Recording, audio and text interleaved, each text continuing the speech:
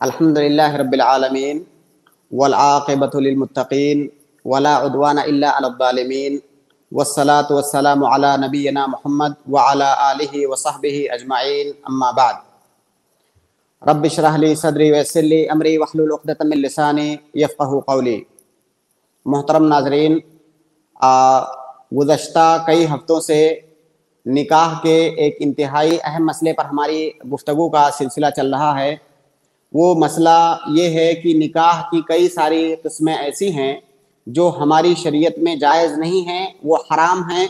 अगर उन तरीक़ों से निकाह किया जाता है तो उस निकाह की कोई हैसियत नहीं होती है शरीयत की निगाह में।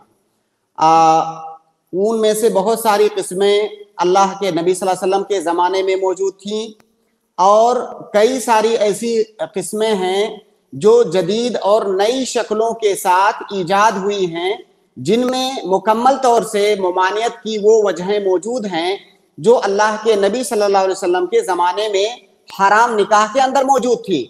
और उनके ऊपर हम मुसलसल गुफ्तगु कर रहे हैं। कई अकसाम के सिलसिले में हमारी गुफ्तगु हो चुकी है। आज के इस एपिसोड में आ, हम उन्हीं अकसाम में से बाज किस्मों के बारे में गुफ्तगु करेंगे। और शायद इस सिलसिले की ये आखिरी कड़ी होगी। इसके बाद इनशाला आगे हम किसी दूसरे मौजू में मुंतकिल होंगे।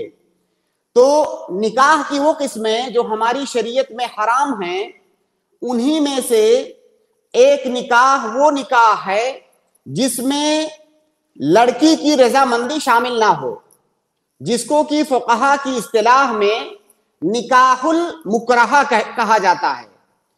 आ, लड़की की रजामंदी के बगैर ज़बरदस्ती अगर उसका निकाह किया जाता है वो रजामंद नहीं है उसे मजबूर किया जाता है शादी पर और उसकी शादी कर दी जाती है तो ऐसी सूरत में उस निकाह की हमारी शरीयत में कोई हैसियत नहीं है वो निकाह सही नहीं होगा। अल्लाह के नबी सल्लल्लाहु अलैहि वसल्लम की एक हदीस है जो सही बुखारी के अंदर है। आ, खनसा बिनते खिदाम अल अंसारिया एक सहाबिया थी आ, हदीस के अंदर है कि इन अबाहा वही सैब कि वो सैयबा औरत थी पहले उनकी शादी हो चुकी थी बाकरा नहीं थी उनके वालिद ने कहीं पर उनकी शादी की। फकर गालिका और जहाँ पर उनकी शादी किया उनके वालिद ने वो उन्हें पसंद नहीं था। वो उस पर राज़ी नहीं थी उसके बावजूद उनके वालिद ने शादी कर दिया। फ़ात नबी सल्लल्लाहु अलैहि वसल्लम। वो अल्लाह के नबी सल्लल्लाहु अलैहि वसल्लम की खिदमत में आई और उन्होंने बयान किया कि मेरे वालिद ने ज़बरदस्ती मेरी शादी फला जगह पर कर दी है और मुझे पसंद नहीं है। तो हदीस के अंदर है, फरद्दा निकाह अल्लाह के नबी वसल्लम ने उस निकाह को मरदूद करार दिया, उसको रद्द कर दिया, मरफूज करार दिया कि इस निकाह की कोई हैसियत नहीं है। तो अगर किसी औरत की शादी उसकी मर्ज़ी के खिलाफ हो रही है कहीं पर तो उस निकाह की हमारी शरीयत के अंदर कोई हैसियत नहीं है, वो शादी सही नहीं है। अब आप अपने मुआशरे में और समाज में इस हदीस को लेकर के और इस मसले को लेकर के गौर करें कि कितनी ही शादियाँ ऐसी होती हैं लड़कियों की जिसमें उनकी मर्ज़ी शामिल नहीं होती है। कई दफ़ा दुश्मनाने इस्लाम इस्लाम पर यह एतराज़ करते हैं कि आपके दीन में तो औरतों को मजबूर किया जाता है। उनकी मर्ज़ी नहीं ली जाती है। उनकी शादी कर दी जाती है ऐसे ही उनकी मर्ज़ी के बगैर। दरअसल ये एतराज़ इसलिए होता है कि हकीकत में ये सूरत हाल हमारे मुआशरे में मौजूद है। और जो लोग ऐसा करते हैं, वो इस्लाम के अहकाम की नुमाइंदगी नहीं कर रहे हैं। लिहाजा ये एतराज़ उनके ऊपर बनता है। ये एतराज़ इस्लाम पर नहीं बनता है। हमारे इस्लाम ने तो औरत की मर्ज़ी के बगैर उसको मजबूर करके शादी करने को नाजायज करार दिया है। उस शादी को कोई हैसियत नहीं दी है। लिहाजा औरत की मुकम्मल रजामंदी के बगैर अगर उसकी शादी की जा रही है तो ऐसी शादी की कोई हैसियत नहीं है। बहुत सारे लोग लड़कियों से पूछने को मशवरा करने को अपनी मर्दानगी और रजूलत के खिलाफ समझते हैं। और वो समझते हैं कि इससे हमारी हैसियत घट जाएगी। अगर उसकी मर्ज़ी के खिलाफ उसकी शादी कर रहे हैं तो इस शादी का कोई एतबार नहीं है। आप यहाँ पर गुनहगार होंगे। और अगर ऐसा किसी ने किया है तो फ़ौरन उस शादी को खत्म करें। अगर वो लड़की राज़ी नहीं है तो उस शादी को फ़ौरन खत्म करें, दोनों के दरमियान जुदाई करा दें, कि उसकी, क्योंकि हमारी शरीयत में इस शादी की कोई हैसियत नहीं है। तो पहली शादी तो ये हुई। दूसरी किस्म है, वली के बगैर निकाह करना। अगर वली के बगैर किसी औरत की, यानी औरत का वली, देखिए, यहाँ पर यह बात वाजे होनी चाहिए। इससे पहले भी कई दफ़ा ये बात ज़िक्र की जा चुकी है कि मर्द अपना वली खुद होता है। औरत को शादी के लिए उसके वली की ज़रूरत होती है। तो वली की इजाज़त के बगैर औरत की शादी नहीं हो सकती। अगर कोई शादी वली की इजाज़त के बगैर हुई है तो उस शादी की कोई भी हैसियत नहीं है। और इसका ज़िक्र जो है एक से जायद दफ़ा आ चुका है, लेकिन चूँकि कई मसाइल ऐसे हैं जो मुतदाखिल हैं, उनका ज़िक्र एक से ज़्यादा बाब में आ सकता है। इसलिए इस मसले पर हम बहुत ज़्यादा तफसील नहीं करेंगे। इसको तफसील के साथ हम वली के मसले में ज़िक्र कर चुके हैं। तो बहरहाल, अगर कोई शादी वली, किसी औरत की शादी उसकी वली, उसके वली के बगैर हो रही है तो उस शादी की कोई हैसियत नहीं है, वो शादी बातिल है। अल्लाह के नबी वसल्लम की हदीस है कि ला निकाह इल्ला बेवली, कि वली के बगैर निकाह सही नहीं है। वली के बगैर निकाह की कोई हैसियत नहीं है।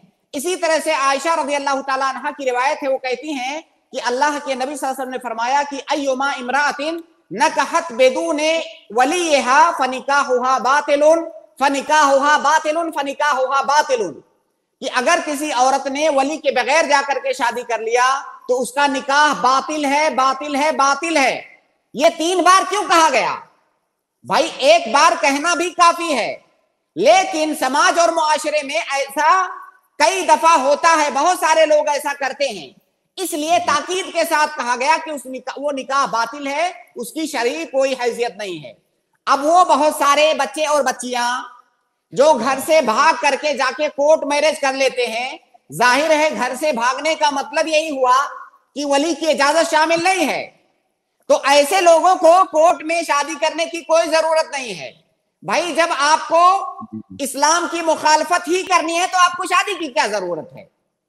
तो अगर आप कोर्ट में शादी करके ये समझ रहे हैं कि आपकी शादी हो गई तो ये शादी नहीं हुई। आपके वली की रजामंदी ज़रूरी है। चाहे आप कोर्ट में शादी करना चाहें तो करें या कोर्ट के बाहर करें। वली की इजाज़त के बगैर लड़की की शादी ये सही नहीं है। इसी तरह से एक किस्म निकाह की जो कि जायज़ नहीं है, वो है कि अगर कोई औरत हालत इद्दत में है और हालत इद्दत में अगर कोई उसे निकाह करता है तो निकाह सही नहीं है। औरत का, की तलाक हो जाती है या उसके शौहर की वफात हो जाती है तो उसे इद्दत गुजारनी होती है। उसका बयान जब तलाक के मसाइल में हम आएँगे इंशाला तो वहाँ पर और भी ज़्यादा तफसील के साथ करेंगे। लेकिन यहाँ पर खुलासतन ये समझें कि जब तक औरत हालत इद्दत में है, तब तक उससे शादी करना जायज़ नहीं है। अगर किसी ने उससे शादी कर लिया तो ये शादी सही नहीं है। अगर जहालत की बुनियाद पर कर लिया तो जैसे ही उसे पता चले, उसे फ़ौरन अलग हो जाना है। उसे फ़ौरन अलग हो जाना है। अल्लाह के कुरान करीम की आयत है कि वला उकदतन अजलहु। जब तक औरत हालत इद्दत में है, तब तक निकाह नहीं कर सकते। और इस बात पर इजमा है कि हालत इद्दत में निकाह सही नहीं है। ये कई दफ़ा होता है, किसी औरत की तलाक हो गई। अब तलाक होने के बाद उसे जल्दबाजी है शादी करने की। जब तक इद्दत खत्म ना हो जाए, तब तक आप इंतज़ार कीजिए। उस वक्त तक आप शादी नहीं कर सकती हैं। और ये जो मसाइल हैं, ऐसा नहीं है कि ये सिर्फ़ फ़िक़ह की किताबों में मजकूर हैं। अगर आप मैदान में काम करेंगे, इन सारे मसाइल का सामना करेंगे, कई दफ़ा ऐसे मसाइल आते हैं। कई औरतें ऐसी होती हैं जो अपने शोहरों से खुला ले लेती हैं, क्योंकि उन्हें जल्दी है किसी और से शादी करने की। और खुला लेके फ़ौरन उन्होंने खुला ले लिया या तलाक ले लिया, फ़ौरन जो है दूसरी जगह पर शादी कर लेती हैं। अगर कोई हालत इद्दत में शादी कर रही है तो ये शादी जायज़ नहीं है, इस शादी की कोई हैसियत नहीं है हमारी शरीयत के अंदर। इसी तरह से एक निकाह जो कि जायज़ नहीं है, इसका ज़िक्र भी आ चुका है, जहाँ पर हमने मुहर्रमात का ज़िक्र किया था कि वो औरतें जिनसे शादी करना हराम है, वहाँ पर इसका ज़िक्र आया था कि किसी गैर मुस्लिम औरत से शादी करना ये जायज़ नहीं है। इल्ला ये कि वो यहूदिया हो या नसरानिया हो। यहूदिया और नसरानिया औरत इससे मुस्तना है। लेकिन यहूदी और नसरानी औरत के अलावा कोई और गैर मुस्लिम औरत है तो उससे निकाह करना ये जायज़ नहीं है। अगर कोई निकाह करता है तो उसकी को, उस शादी की, उस निकाह की कोई हैसियत नहीं है।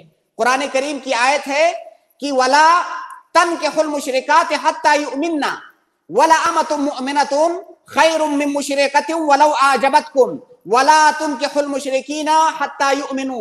वला अब्दुम मुमिनुन खैरुम मिन मुशरिकिन वलौ आजबकुम। हमारे मुआशरे में इस वक्त ये बीमारी आम हो चुकी है, ये मसला पहले भी आ चुका है। बहुत सारे बच्चे या बच्चियाँ गैर मुस्लिमों से शादी कर रहे हैं। भाई, आप ये जान लीजिए कि इस शादी की कोई हैसियत नहीं है। ये आप अपने आप को और अपने दिल को तसल्ली दे रहे हैं और धोखा दे रहे हैं। आपको शादी करने की ज़रूरत नहीं है। जब आप आ, ऐसे ही इस्लाम के अहकाम से बाहर जाना चाहते हैं तो आप ऐसे ही रहिए। फिर समाज को यह बावर कराने की कि हमने शादी किया है इसकी ज़रूरत आपको नहीं है। इस शादी की कोई हैसियत और इसका कोई एतबार नहीं है। चाहे वो लड़का हो या लड़की हो।